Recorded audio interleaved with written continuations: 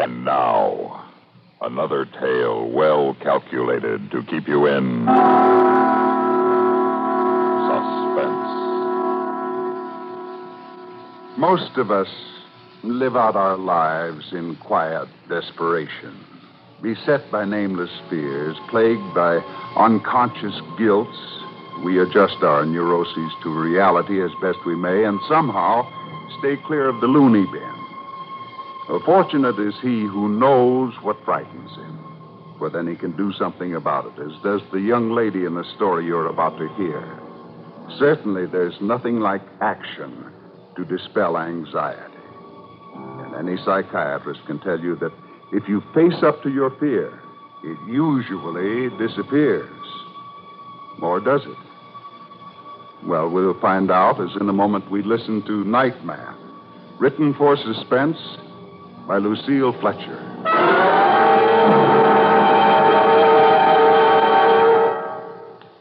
The time, election night, 1956. The place, CBS election headquarters in New York. Robert Trout speaking. This is the way the total popular vote looks for president at 7:30 Eastern Standard Time. 30 minutes past 7 in New York. Eisenhower has 222,000 votes. Stevenson has 196,000 votes. an early tabulation, four years ago, election night. That story is history. And once again, election year has rolled around. Election night swiftly approaches, and Robert Trout will serve as anchorman for CBS News Election Headquarters. With him will be a staff of top CBS newsmen to analyze major trends Edward R. Murrow, Lowell Thomas, and Eric Sevareid. To relay the overall progress of the vote, Blair Clark. Howard K. Smith will interpret electronic computer data. Night long, get election story from top ranking CBS News on CBS Radio.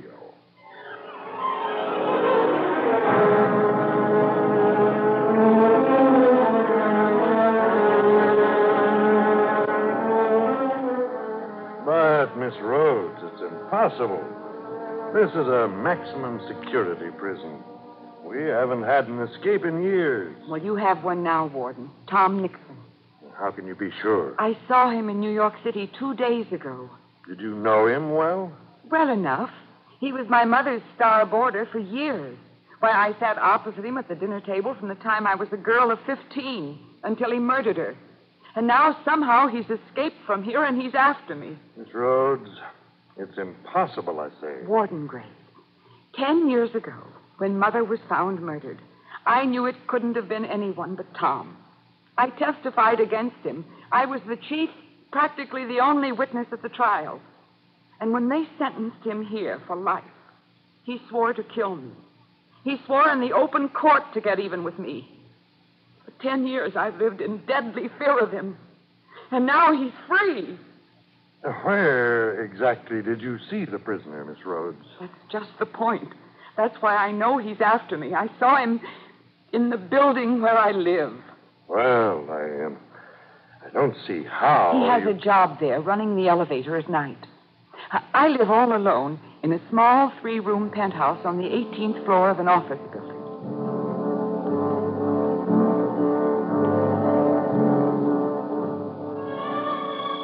The other night, about a week ago, I came home alone from the movies after midnight. I was already in the elevator before I noticed there was a new nightman. It was Tom. His hair had turned white and there was a stoop to his shoulders, but everything about him the crook of his head, his high, thin nose, the hollow cheekbones were all the same.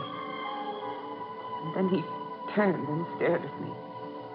I could see those deadly, pale, cold eyes, those heavy eyebrows, that familiar, quiet, sarcastic mouth. What floor, miss? Oh, oh, oh my floor. Uh, uh, yes, the, the penthouse, please. The penthouse. Where's that? On the roof? Yes, on the roof, please. 18th floor. Okay.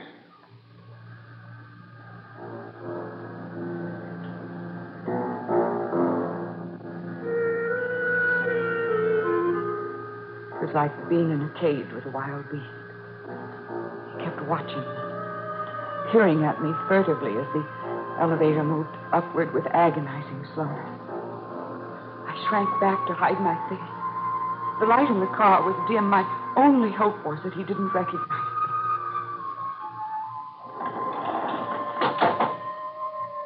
Here's your floor, miss. Thank you. Good night. Good night. Go back down. I don't need anything, thank you. What's the matter? Did you forget your key? No, no, it's just. it- It's, it's right here in my bag. I, I- I'll find it in a minute. Want me to let you in? Let me in? Why, no, no. I got pass keys to all the doors. It's no trouble. Uh, no thanks, but I. Uh, no, no, no, here, here. I have it right here. Good night.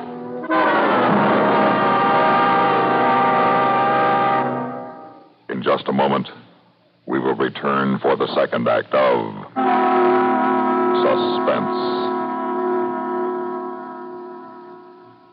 Since show business is the business of entertainment, performers are far from dull folk. Now, this is a matter you'll have fun verifying each Sunday night when the Mitch Miller Show brings sparkling show business chatter your way over these CBS radio stations. So give Mitch Miller and his guests a listen and prove it to yourself. Now, an average attendance at one of Mr. M's soirees might include a Broadway actress chatting about her craft with a comedian. Around on the other side of the round table, you might hear a singer try out a few songs for size on a film director or producer also in attendance. But no matter who's on hand for this happy open house, no matter what stars of the entertainment world are bandying the banter about, you can be sure a good time will be had by all, yourself included. So Sunday nights, get better acquainted with your favorite limelight personalities on The Mitch Miller Show.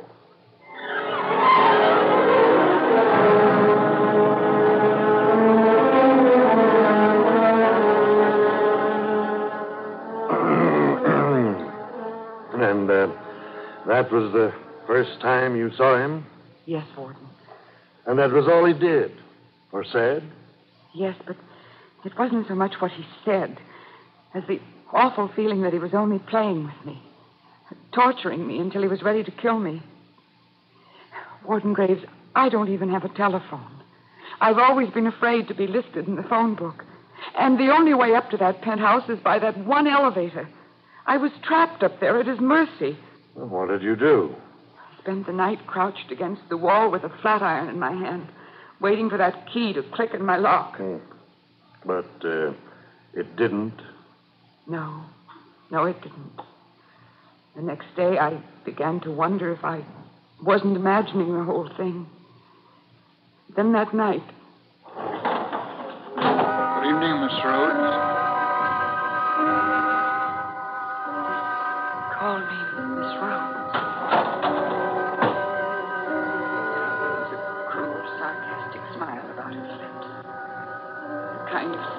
Smile him give to. You think he recognized you then? Recognized me. Warden Graves, I haven't changed. Perhaps I've grown a little thinner, but don't you see? He'd come there only to trap me. He'd taken that particular job, plotted, schemed. It, it was only a question of when, when he was going to do it, when the axe was going to fall. He kept grinning at me as I stepped out of the elevator. And then, just as I was going to bed,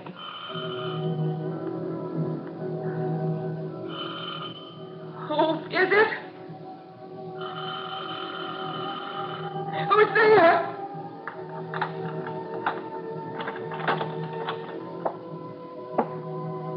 Oh, excuse me, Miss Rhodes. There wasn't any answer to my ring. What do you want? What are you doing here? It's your laundry. They told me to put it inside in case you weren't home. Might have given me time to answer the door. I'm sorry, Miss Rhodes. I'm very sorry. Don't let it happen again. Good night. I was just thinking. You've got no way to get up here or down except in my elevator. No. Even the service elevator doesn't get up this far, does it? No. You're really all alone up here, aren't you?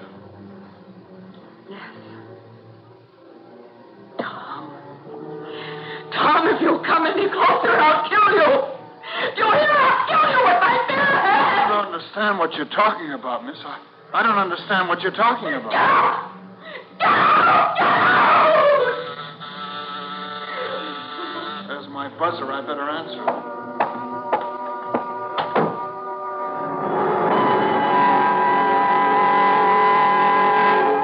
In a moment, we will return for the third act of Suspense.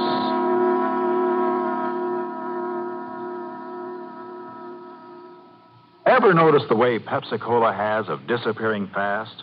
It's easy to understand when you remember how every ice cold ounce of Pepsi tingles with a taste that everybody in the family enjoys. And then, too, there's no time limit on Pepsi. Day or night, with meals or by itself, work days or weekends, for parties or all by yourself. Ah, but the thing that really makes Pepsi go fast is its light touch. Pepsi always refreshes lightly, without filling. So a Pepsi just never tastes like too much. To make sure your supply of Pepsi meets the demand, always buy an extra carton or two. You can't run a household without it. Be sociable. Look smart. Keep up to date with Pepsi. Drink light, refreshing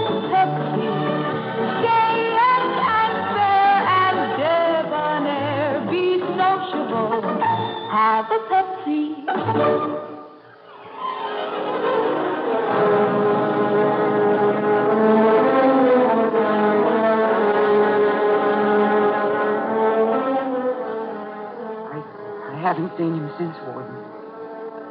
I barricaded myself in again that night, and next morning I got down to the public phone and put through the call to you.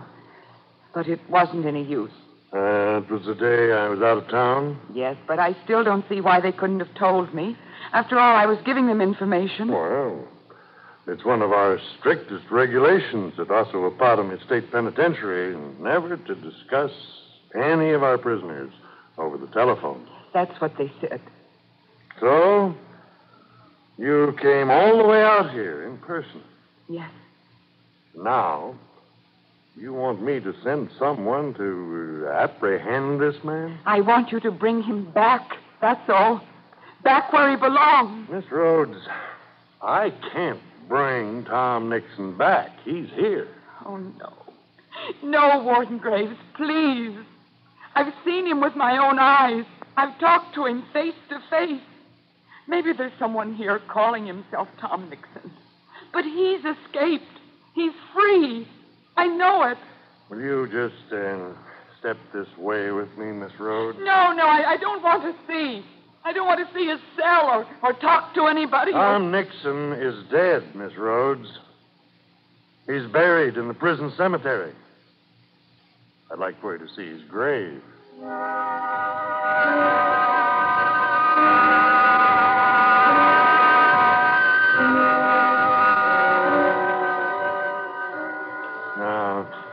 This is a photograph taken of him just a week before he died.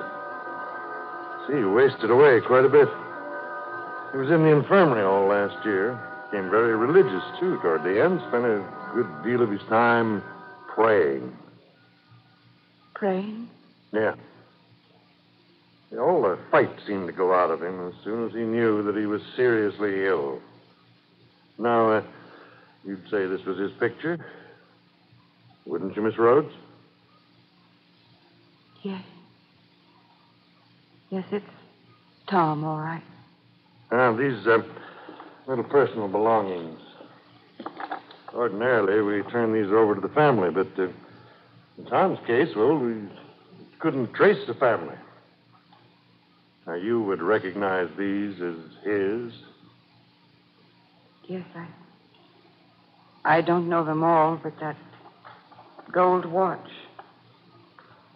He used to wear it every Sunday. At Mother's. Hmm. He uh, wrote a couple of notes before he died to a fellow prisoner and to the prison chaplain. Yeah. You recognize this handwriting? Yes. This seems to be. Tom's. well, Miss Rhodes, you feel a little better about your elevator operator now? You must think me a fool. An awful fool. No, not at all. But the likeness was so extraordinary. It was almost like seeing a ghost. A ghost? oh, come on, Miss Rhodes. Now that you've gotten all this off your chest, uh, isn't it perfectly obvious? That poor night man's done nothing or said nothing to you at all out of the ordinary. It's only that, uh, well, you seem to be the victim of some kind of a guilt complex. Guilt complex? Well, I'm not guilty of anything. No, well, what I mean is that Tom has been on your mind now for ten years. You testified against him. He threatened you. Gradually, you came to see him everywhere. No. No, only this once. Only these last few nights. All right. But now you know the truth. That should clear your fears forever. Tom's dead and buried. Go back here and take a look at this night man again. Now that you know Tom's dead, I'll lay odds the whole resemblance will vanish. I hope so. My advice to you, Miss Rhodes, would be to go straight home. Use that elevator as much as possible. Get acquainted with this night man. For your own sake, try to get the better of these hallucinations. That's all they are. Just hallucinations. In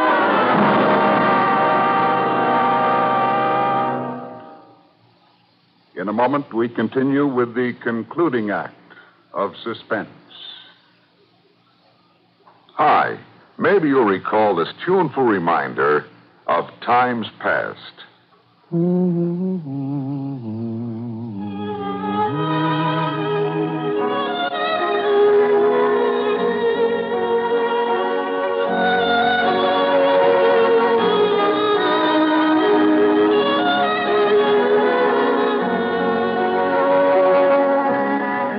is Dennis James with something else worth remembering. It's this. You're so right to stay regular with Kellogg's All-Bran. See, it's the normal, natural way to youthful regularity. The whole brand content of Kellogg's All-Bran supplies your system with all the bulk forming food that you need every day. There's only one All-Bran. It's Kellogg's All-Bran. So relieve irregularity from lack of bulk, as millions do, with a bowl full of Kellogg's All-Bran each morning. A double L hyphen B R A N. It's Kellogg's All-Bran.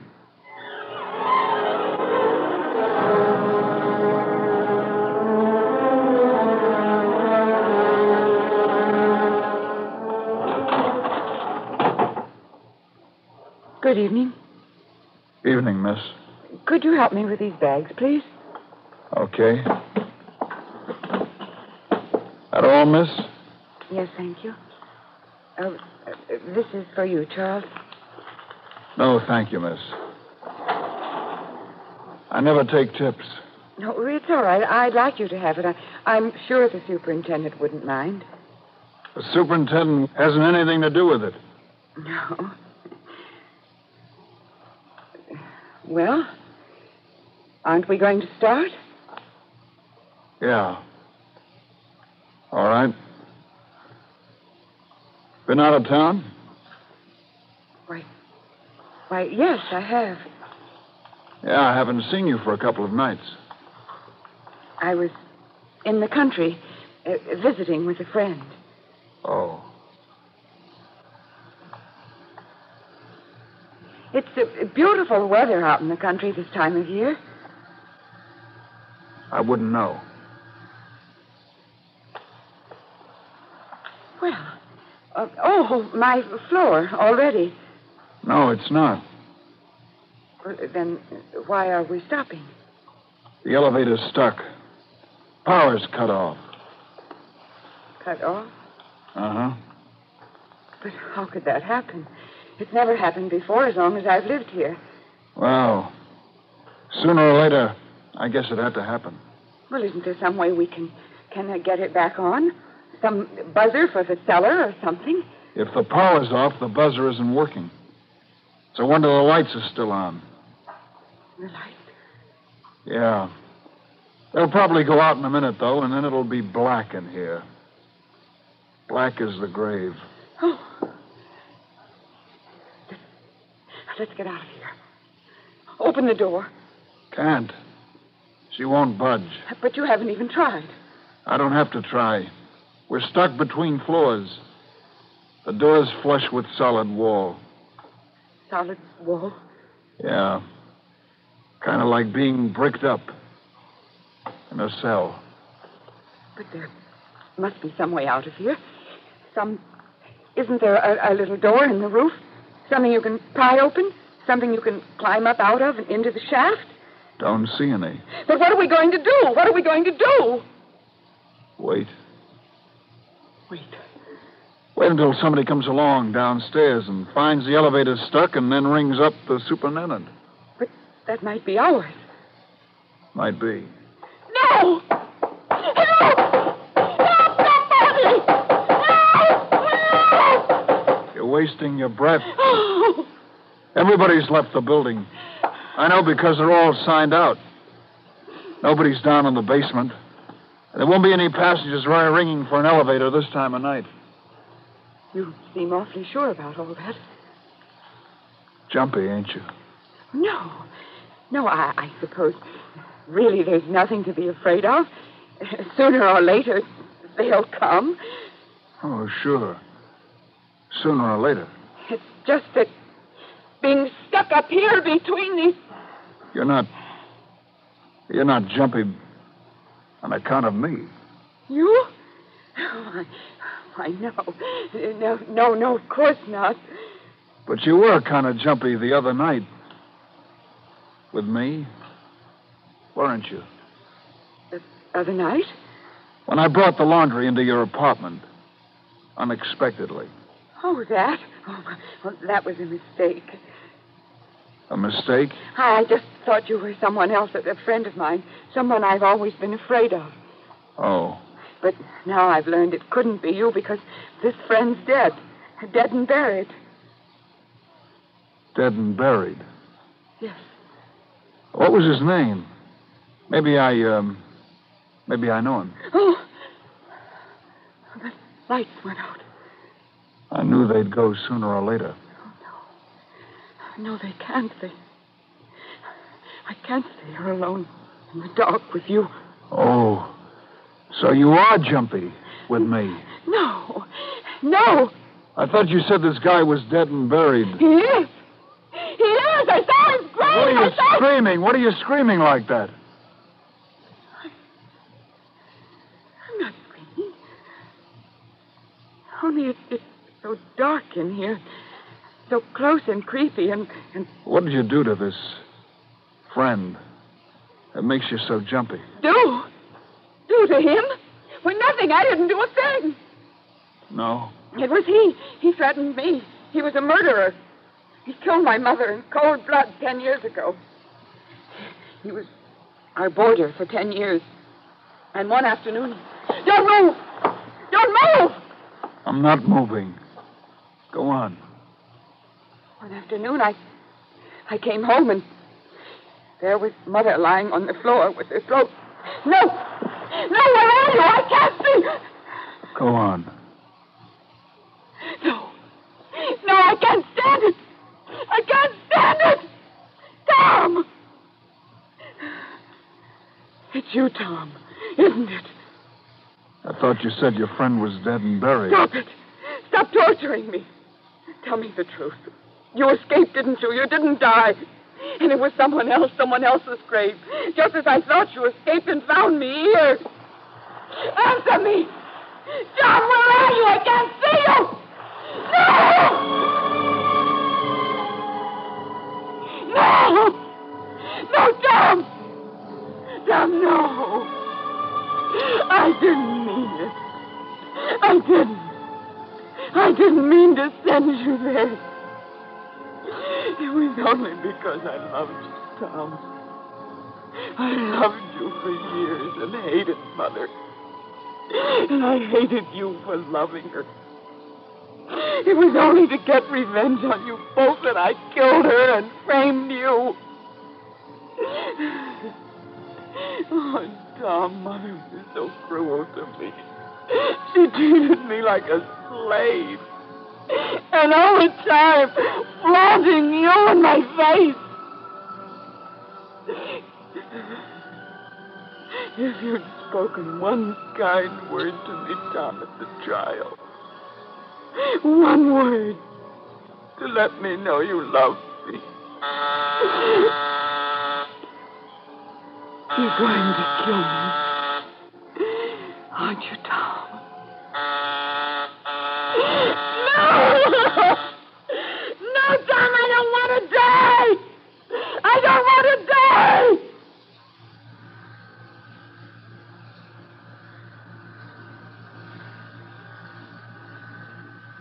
Why are we going down? There's a passenger ringing in the lobby. Then you're not Tom? No, miss. You're you're not going to kill me? Not me. it was it was all just a just a crazy hallucination, like like the warden said. Just because the power went off and, and you look so much like like Tom Nixon. Oh, oh, forgive me. Please forgive me for being so absurd.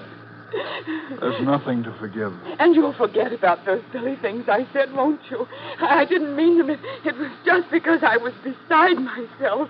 What silly things, ma'am? Oh, those silly things about about my mother and Tom and here, here, this is for you. No, no, I insist this time. I insist. I'm sorry. But I'm afraid I. I never accept tips. Oh, but please. Particularly from a dame who framed my twin brother.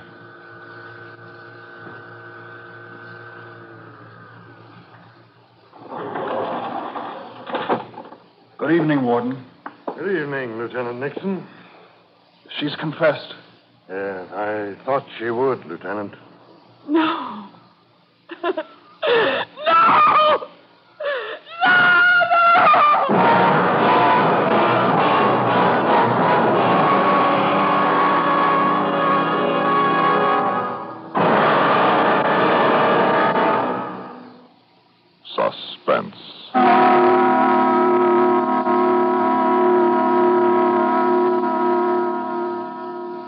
Been listening to Nightman, written for suspense by Lucille Fletcher. In a moment, the names of our players and a word about next week's story of suspense. How would you like to make a new friend? Well, students and teachers in Japan, young people in their 20s, in the new nations of Africa and Southeast Asia, and adults all over the free world want to make friends with you. They want to know how you live, what kind of food you eat, what kind of work you do, what you read, what you do for entertainment. In other words, they want to know all about the American way of life. Now, you can make a wonderful new acquaintance simply for the cost of a postage stamp. And all you have to do is this. If you are between the ages of 16 and 60, just drop a line to Letters Abroad, 45 East 65th Street, New York, 21, New York, stating your age and your principal interests. And also, please enclose a stamped, self addressed envelope. Letters Abroad will then put you in touch with an interesting correspondent overseas.